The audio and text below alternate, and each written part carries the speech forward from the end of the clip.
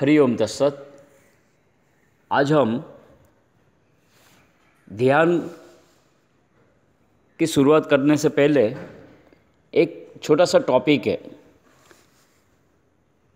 आ, सुख दुख। चलिए तो आज हम सुख और दुख क्या है उसके बारे में समझ लेते हैं। पहली बात तो ये जो हमारा कई चीज़ में हम कहते हैं सुख आज मुझे मिला या सुख की मुझे प्राप्ति हुई।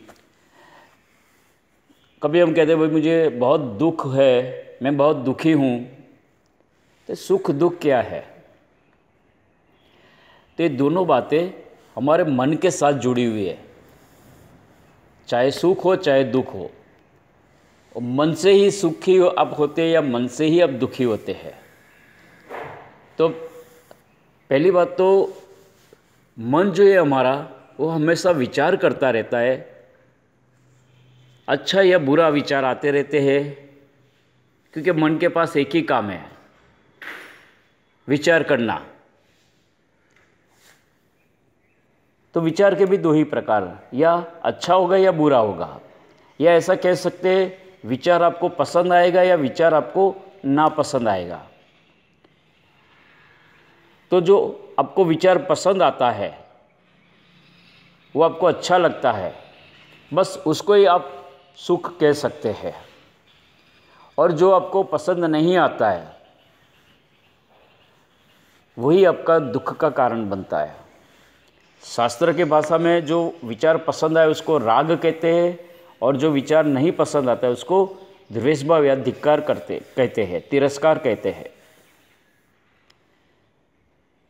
हमारे शास्त्र में भी यही बात बताइए जो हमारा बंधन या मोक्ष, ये दोनों का कारण आपका मन ही है? यानी हमारा मन जो है, वो बंधन में भी डालता है या मोक्ष की प्राप्ति भी वही मन ही करवाता है? तो जैसे अभी मैंने बोला, मन से ही सुख है और मन से ही दुख है। कैसे? एक एग्ज़ाम्पल से समझ लेते हैं। अगर आपको दूध बहुत अच्छा लगता है पीने का तो आपके सामने एक गिलास दूध रखा है अगर आपको दूध पसंद है तो आपके लिए वो सुख का कारण बन जाएगा। लेकिन किसी को दूध पीना अच्छा नहीं लगता है तो यही दूध दुख का कारण बनेगा। तो दूध में न तो सुख है, न तो दुख है। आप क्या मानते हैं? उसी के साथ सुख दुख जुड़ा हुआ है। दूसरा एग्ज़ाम्पल ले लेते हैं। जैसे करेले की सब्ज़ी। करेला जो कड़वा होता है तो किसी को पसंद है तो किसी को नापसंद है। तो करेले की सब्ज़ी में या जो करेला है, उसमें न तो सुख है, न तो दुख है।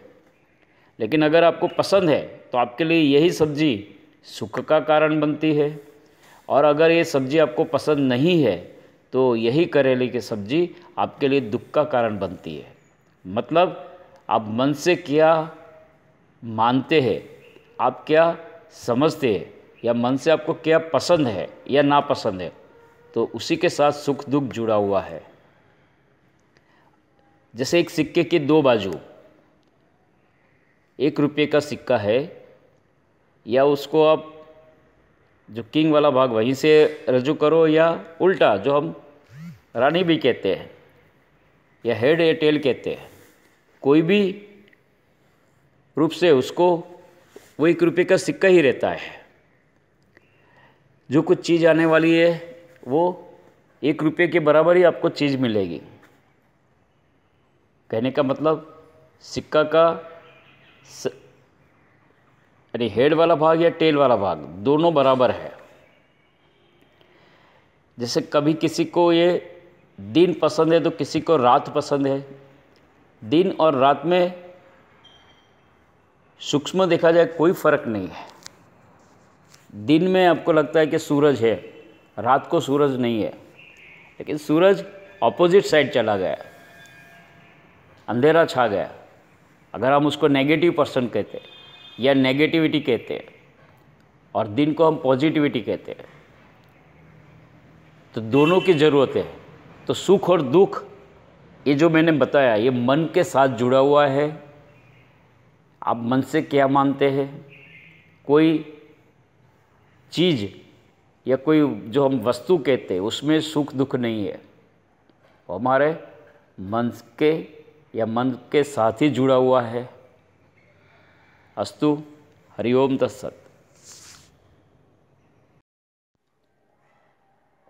हमारा यह वीडियो आपको पसंद आया है तो उसको लाइक करके अपने ग्रुप में शेयर कर लीजिए, और आप सबको विनंती हमारी चैनल को सब्सक्राइब कीजिए।